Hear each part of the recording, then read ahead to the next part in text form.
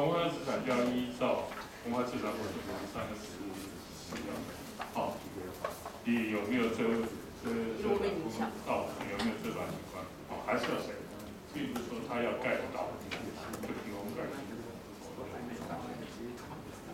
不知道，应该还是要受到文文资法。对，就是现在前面的大楼，其实它第一排的农事所，将来会去做评估嘛，它有三十四条，所以呃，包括这个是一个部分。另外刚才举出来的西侧，有人怕他的房子没有在视觉景观者里面，其实它还有我们的第三类的部分，它不是可以拆的。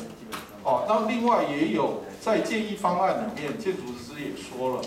除了现在的东侧下面的看得到的房子，其实还要再看一次全区到底要不要划定另外一种文化资产身份，叫聚落建筑群嘛。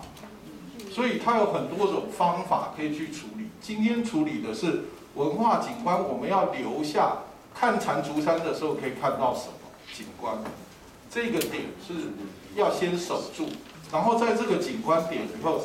它的作业要点的 SOP 是什么？好，谢谢陈副总。各位有没有？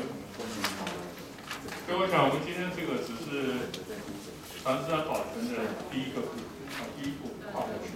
我们希望这一步早点完成。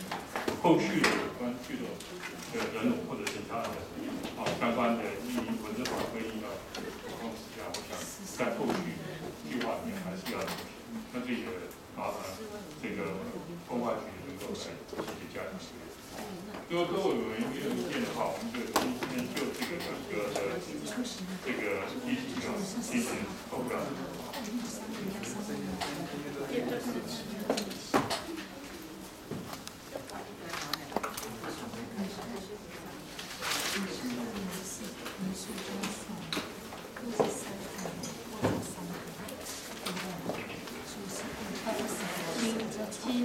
请老师宣读上一案的决议。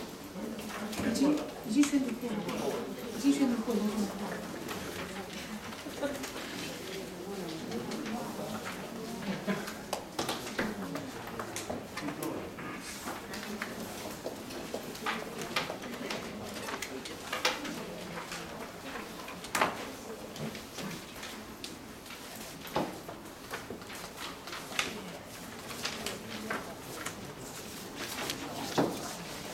吃香辣。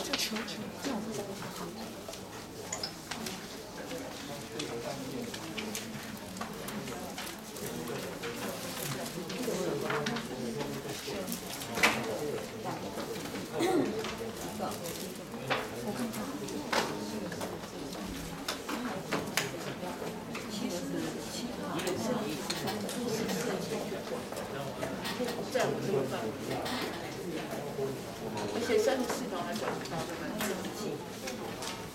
那要毒是？尿毒是里。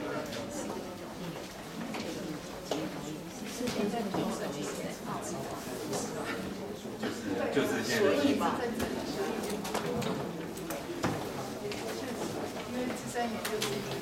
对呀。好，我们针对十一案、第六案。文化景观展的保存维护计划啊，然后出席总委员二十三人，回避三人，出席委员十四人，啊，第三位办事委员出席，出席委员十三人，同意啊，同意保存维护计划，一人不同意，同意人数达到出席委员过半数，所以本案同意文化景观保存计划。管理管理原则啊修订修订版审查通过。